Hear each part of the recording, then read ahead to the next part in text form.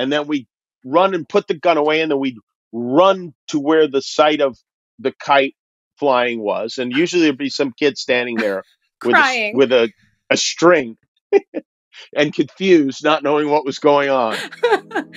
Hello, and welcome to this special edition Street You Grew Up On After Dark. We're doing a late night edition because we're talking to an amazing late night talk show host, my amazing, hilarious, wonderful friend, Jimmy Kimmel. I am so excited that I get to interview you because you've interviewed me like 20 times. That's right. I know everything about you, Kerry. so the tables must turn. so I, as you know, I want to talk about the street you grew up on. So I just want to start by talking about like what was the name of the street you grew up on? What city? What state?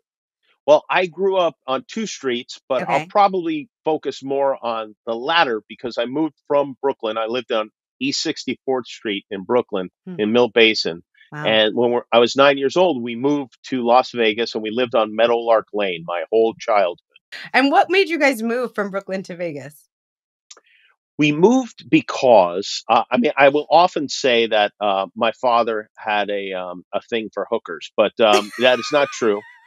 he, my father, the closest my father got to hookers was bowling. But uh, we moved because my uncle Frank was a police officer in New Oh. York for 20 years. Wow. and he retired after 20 years. He was my uncle Frank famously made only six arrests in his 20 year career, God bless him. I love him already. and uh, he would just give people a talking to and try to straighten them out. Hmm. And um, Uncle Frank decided that they were going to move, and the original plan was to move to Florida. And they went to Florida. They stayed with some friends. This is my Uncle Frank and my Aunt Chippy, who's on the show. and they stayed with friends in Florida and they found a house and they put a hundred dollar down payment, which doesn't sound like a lot, but, But to us then- in 1974 Yeah. it was. And uh, later, later in the trip, there was an alligator in the pool in the No. backyard, No. and my aunt Chippy said something to the effect of, "I didn't raise three daughters so they could get eaten by a goddamn alligator." and they lost the deposit and they decided to move to Las Vegas instead. My uncle got a job at the Riviera Hotel as a security guard, and they brought my grandparents out with them. And ours is a very close Italian family, Mm. and so about a year and a half later, we packed up. And my dad didn't have a job; he was just going to get one when he got out there, Right. and we moved to Las Vegas too when I was nine. And what was the street like? Like, what what did the house look like? Was it on a street with lots of other houses, or what was it like? It was a typical um, lower middle class tract home community. Mhm. beige houses, like three models of house. And, um, you know, you'd see like, yeah, there were there were like twelve of the same house on our on our side of the street. Yep. And one was a two story model. That's what we were in, Uh huh. and we're kind of at the end of the street. And it was very. I mean, there was no life whatsoever in our neighborhood when we moved in. It was just dirt and cement and stucco, and that's it.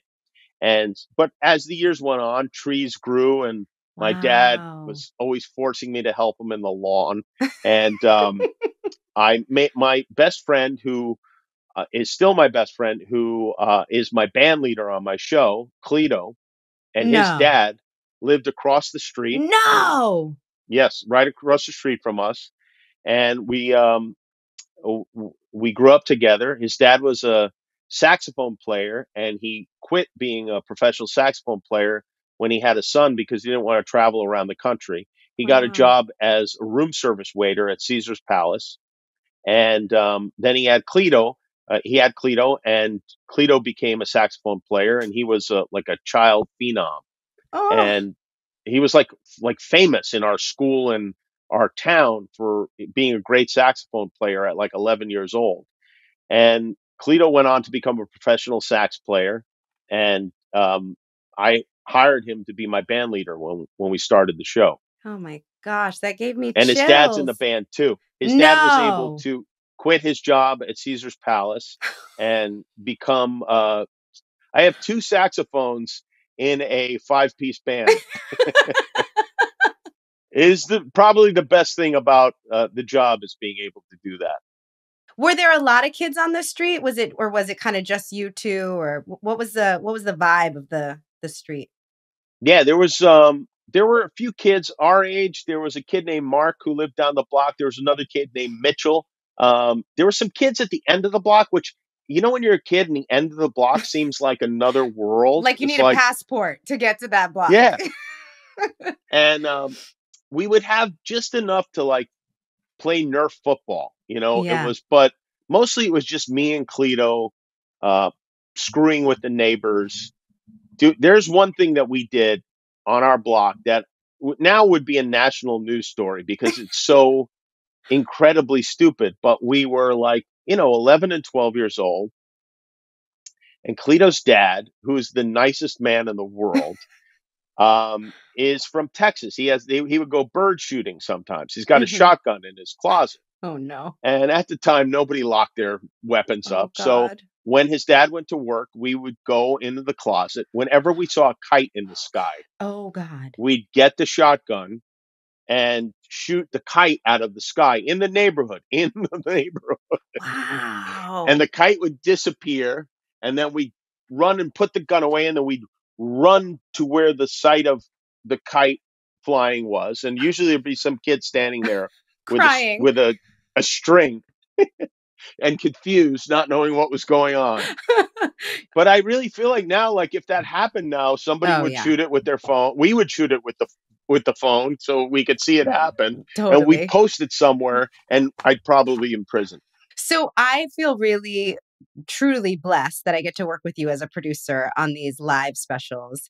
And I was thinking like, oh, was it at Meadowlark that you fell in love with the Norman Lear world and sort of where your adoration Even earlier, really. began? Really? In Brooklyn is when, uh, uh, yeah, really, All in the Family. I think was our first, the first show that we loved as a family, the first Norman Lear Mm, show. But mhm. for me, when I got to Las Vegas and you'd watch these shows in reruns, yeah. I Sanford and Son, Sanford and Son and Good Times are really my. Those were the shows that I watched the most. It Mhm. feels. I know real is a dumb thing to say because it's not real, but it did feel like there was some reality to honest. There was some honesty to it. it. Mhm. Yeah. So, do you have siblings? Who was in that house on Meadowlark with you? Who lived in the house? I'm the oldest. I have a sister Jill who's three years younger, and a brother Jonathan who is nine years younger. And what was your role? Like, as the oldest, were you kind of the leader? Were you funny back then in your family? Were you like, what was what was the role you played? everyone in my family is funny. Li- Mm. Literally every person in my family is funny. I am like the eighth funniest person in my family. um, I was, you know, as the oldest, you run roughshod over the family. You know, Yeah. I did all the things that the older brother does. You know, Yeah. um, from a general torturing your siblings standpoint. I um I was an artist when I was a kid. I loved to draw. I was kind of Mm. known for that. Everyone always presumed I would become an artist when I grew up, including me. I have to tell you, by the way, that your goose book is a family fave in our house. Oh, great. and you illustrated that book. I did. I that's the only time I've really had the opportunity to do like in a professional way um, something that I thought I might do when I I got older. I I love television. I would stay up much later than I should have watching David Letterman. Well, my Mm. parents, my dad is a little tight, you know, Mm. and um, we had. I think we got our first color TV. In I know that and to younger people these numbers mean nothing, but we got our first color TV in 1984. Before that, we had a 12 inch black and white television set That's in our living room. super late. And yeah, it was very late.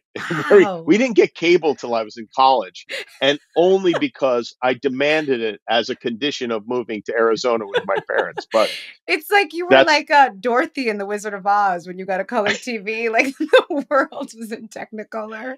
When did you know that you were funny? Because if you thought that you were going to be a visual artist and everybody else in the family was funny and you love these funny shows, when did you feel like, oh, some of this might live in me?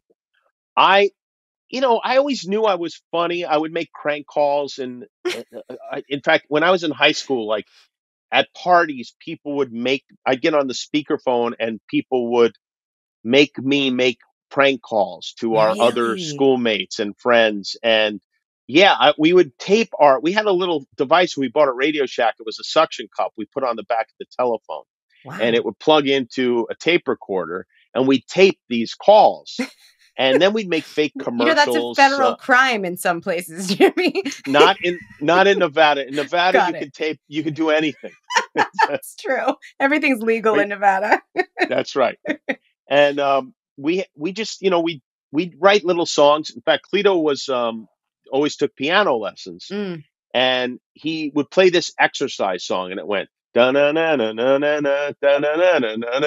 so we would make up little songs about our friends and our neighbors and uh, you know brothers and sisters, all these these funny little tunes, and we taped them, and we were always like working on something funny, and um, and I never thought it would add up to anything. Um, so I want to ask about some of your other super funny family members, like wondering if you have a cousin Mickey story from your time on Meadowlark. Mickey was kind of a punk kid, really. Um, she was like a little squinty eyed punk of a kid, almost like one of the little rascals or something. And I do remember as a little kid, I remember uh, she lost, we went up to Lake Mead. Our aunt, our, our uncle Maurice and aunt um, Anne were visiting. And so we went up to Lake Mead, which is what we did with everyone who visited us. And by the way, nothing to see there. Just like just a reservoir, you know. So we took them up to Lake Mead, and Mickey somehow she was kicking and she lost her shoe, and the shoe floated away. Uh, uh, you know, you know, we're on the dock, and so my grandfather was good at horseshoes, and my uncle Maurice was also good at horseshoes. So they got some rocks, and they figured if they throw the rocks beyond the shoe, Oh the ripple would push the shoe back to shore. But Uncle Maurice, on the first shot, landed the rock right in the shoe, and the shoe went right down to the. And Mickey was so mad at him, she didn't like. She didn't forget it for years. Wow. Oh, I love it. I love it. Sounds like your family spent a lot of time together. Did si- My how- parents, Yeah. didn't have any friends. My um, and it's not because they weren't entertaining people. It's they had Mhm. no time for their friends because we were only over at my grandmother's house She Mm. lived with my aunt and uncle, and that's where we were every weekend. We'd go there, we'd have dinner. I could smell the, I could smell the garlic when we pull up to the driveway. Mm. My grandmother was a fat woman. She was short and Italian. She made great Italian food, and I would be ravenously hungry when I walked in the door. Okay, so if you could have one of those like great Italian Sunday dinners and invite five characters from Norman's shows, which five characters would you Oh. invite to dinner? I would say, well, I'd say Fred Sanford. You know what? I think Fred Sanford and Aunt Esther together would be a great, a similar dynamic between some members of my family. Yes. Um, I've always loved Grady too. I, I might have invite Grady. Um, let's see. Oh, Edith Bunker would have been would have been beloved Mm. in the house, and so helpful. She would have been so helpful at dinner. and Maude. Yeah, she would have cleaned up and Yeah, everything. And yeah. Maude would be yeah, Mm. Maude definitely. Oh, that's that is a great five, dinner. right? Yeah, Yeah, that would be a good dinner. that's a good dinner. So, um, if you could, you know, go back to that kid, did you? Did they always call you Jimmy? Were you always Jimmy? Yeah, my Yeah. dad is my dad's Jim and Ah, I'm Jimmy. So Okay. All right. So if you could go back to Jimmy on Meadowlark, you know, around when you moved there, is there anything you'd want to say to him? Advice Hmm. you'd want to give him? Well, one thing I would say is enjoy eating a lot because that's going to end. And you don't realize how wonderful. I, I wish it was the other way. Like, you know, it should be the eat- other way. yeah, it should be the other way when you don't like any foods because you're a kid. they don't appreciate anything and they can eat everything. I know. It should be the opposite. It's a flaw in the human body.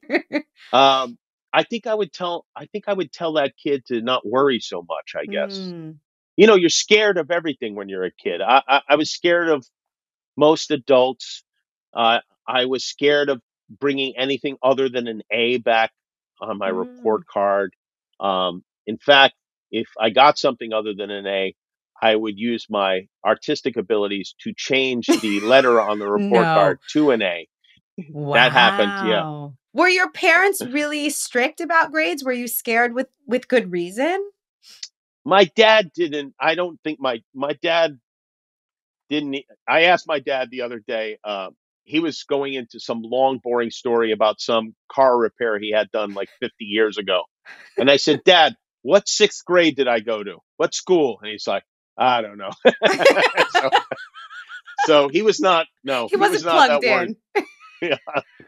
He was going to work every day, and he came home. He didn't want to hear about where we were going to school. Yeah. But in fact, the one time I think my dad uh, picked me up from school, I was sick and I called home, and my mother didn't answer the phone. I don't know where she was, so I had to call him at work.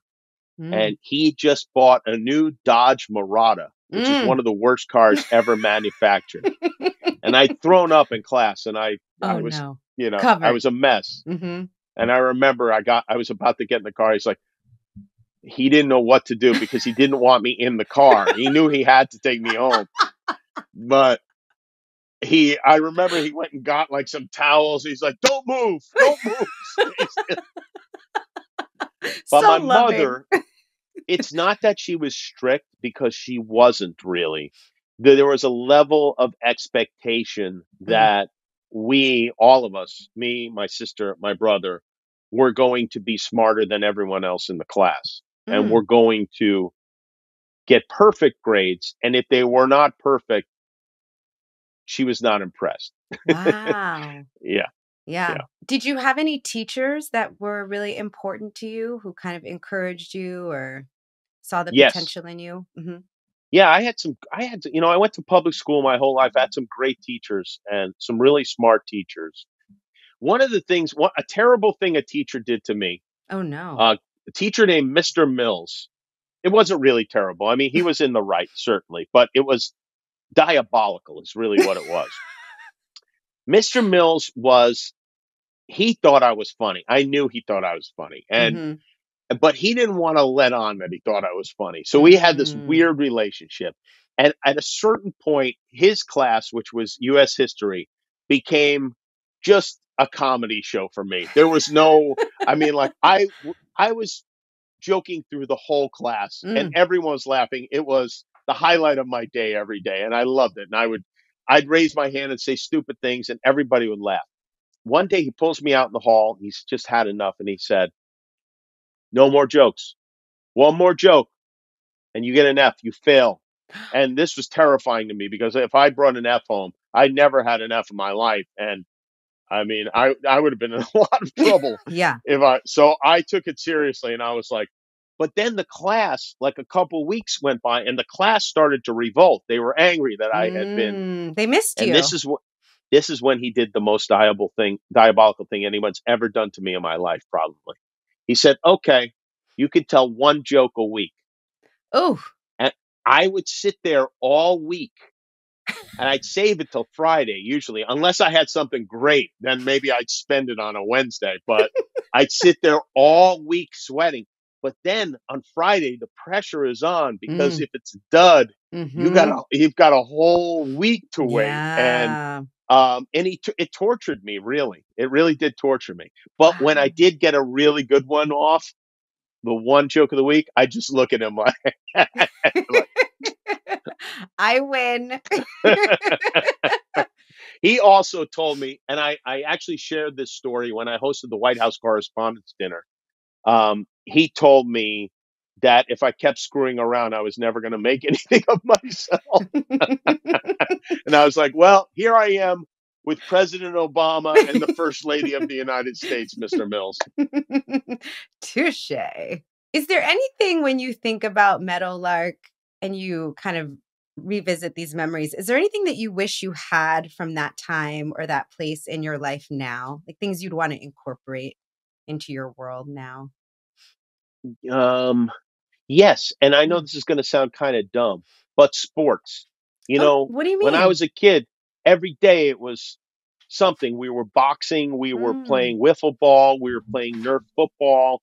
it was always always some some kind of a sports activity and now as an adult i really you know it just you know like i'll go in the gym and i try to work out but there's no sports you know like if i play basketball for more than an hour i'll definitely get injured you know it's, uh, it's you can't play wiffle ball when you're an adult it looks dumb and i just don't have that anymore you know Yeah. it's uh, uh, my kids are little, so I'm hoping maybe they get involved in it and I can go out and coach or something. Yeah.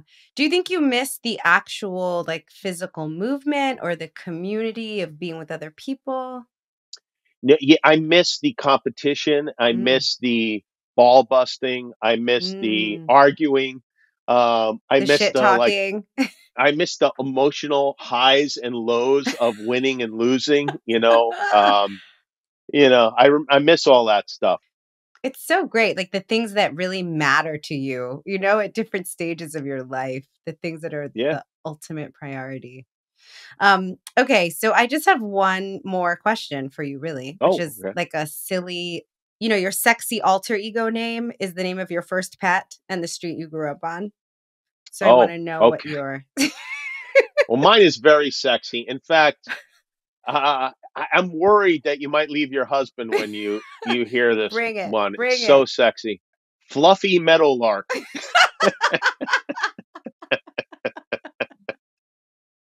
the best fluffer in town, Fluffy. Oh, I didn't even think of that. Oh, I'm not even. I'm like not even in the adult film. I'm the one facilitating it. You're behind the scenes. You're so good. Always the producer. Oh, oh, Fluffy That's so Meadowlark. good. That's my name. I like that. I like that. It feels a little more like a children's book character, but Yeah, for I sure. like it. Well, thank you. This was so fun. This was fun. Yes, I enjoyed it. Thank you, Jimmy Kimmel, for taking us with you to Vegas. I loved hearing about his life, his childhood on Meadowlark Lane. I feel like I just laughed through that entire interview. Um, so, thank you. Thank you for joining us. Thank you for tuning in. I want to know who else you want to hear about, what other streets you want to journey back to, who else you want to travel with to the street that they grew up on. So, make sure you write that in the comments. Also, like and subscribe and push the notifications button so that you get news from us. And please continue to tune in. It's so much fun to share these interviews with you. Thanks.